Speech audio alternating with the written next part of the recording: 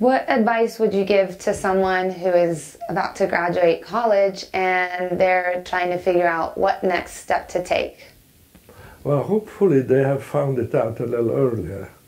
but if uh, by the time they have if if by the time they are seniors, they they still are wondering, then the best thing is to try a lot of things that may work out, but not commit yourself until you find that something is clicking, you know, for you. And um, you know, a lot of the people who are successful that I have talked to either knew it very early in life and they got more and more in, involved, you know, eight, seven, eight, nine, and so forth.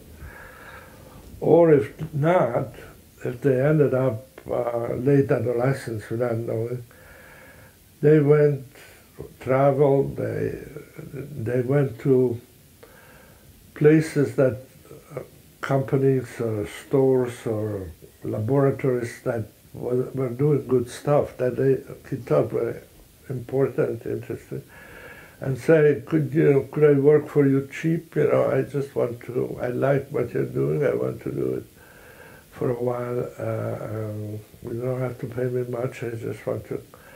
And then, you know, after three months, four months, if it doesn't work, try something else. And in a year, you will have had three or four different experiences and probably by then you would know, okay, this, this felt better than the other three. And then you try to move in that direction. And that, that's why the way, as I say, these creative, successful people either find it very early or they go that way. You know, and it's one of the two.